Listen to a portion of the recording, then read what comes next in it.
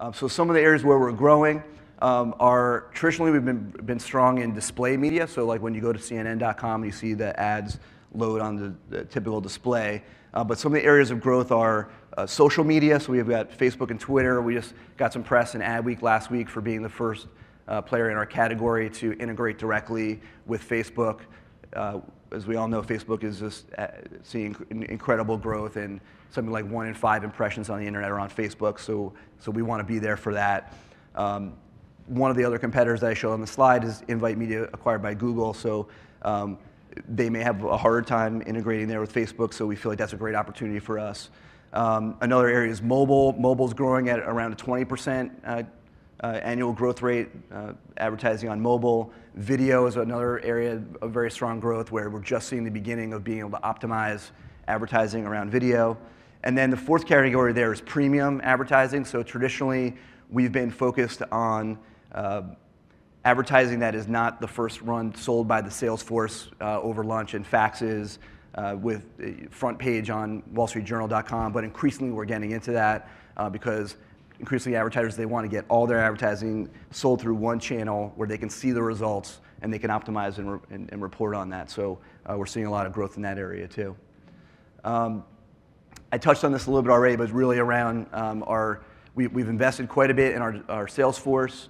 Uh, we we I'll show you in a minute our sales offices, but we've been, uh, our direct sales has been growing quite a bit and then also through our partners. Um, from a sales office point of view, the small red dots here are our existing offices. So New York, Boston, Chicago, LA, San Francisco, and London. We opened a London office last year. It's a great case study. We sent two of our founders uh, to London to open the office, and it's just been going phenomenally well. We have two data centers in Europe, and one in Paris, one in Zurich.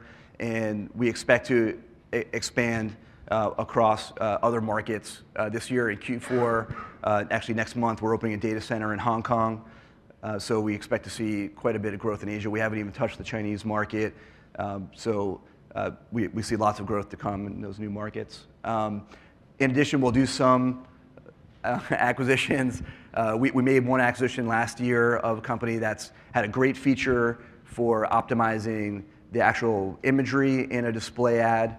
And it's, it's been great. So one of the great things about the position that we're in is we see the different capabilities. We enable uh, buying across lots of different types of companies and uh, new technologies and capabilities. When we see one that's working, we're in a great position to say, hey, that you know this is really working, and we can see what margin they're getting. So we want to pull that margin onto our platform so we have an opportunity to make acquisitions.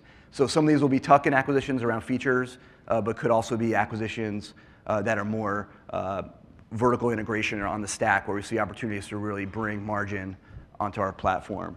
Uh, we are actually raising uh, a round of capital. We expect uh, this to be a Q1 close for additional capital. Some of that will be for expanding the sales offices. Some will be building out the technology, and some will be for these kinds of acquisitions. So you can you, you can take a look at sort of that work experiences, which probably is not that not that exciting other than we have a great technology. We have, our conversion rate is unbelievable.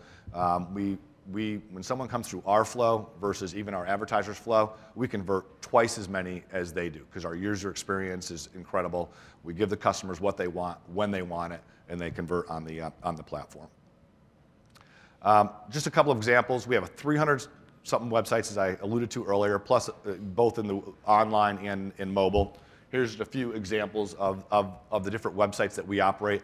All underlying is one single platform. We have about two people who, from a content management standpoint, manage all of those all of those websites, and we drive customers, depending on what they're looking for in the digital world, through one of them. And the reason why we have so many is people are looking for different things, and we get them we want to put the right offers in front of them. So platform drives all the different websites and mobile websites. But here's just a way to visualize uh, visualize what we're doing from a web and mobile standpoint. Second part of it was the enterprise, which is the which is the new area of growth, one of the new areas of growth for us this year. We have three products: AMP Assist, AMP Store, and AMP Connect. And again, we'll do 3 million or so in revenue and this this year, 9 million contracted for next year already. Um, I won't go into the gory details. I'll give you a couple of quick examples. Uh, Time Warner Cable came to us, and they licensed our technology for all of their Spanish buy flow. So anybody who comes to the Time Warner website and wants to buy something in Spanish, they lease our technology. They give us a fee per month and a transaction fee, and that's all on ours. And they're ecstatic because they tried it on their own, and again, our conversion rate was three times as much as, their, as theirs was.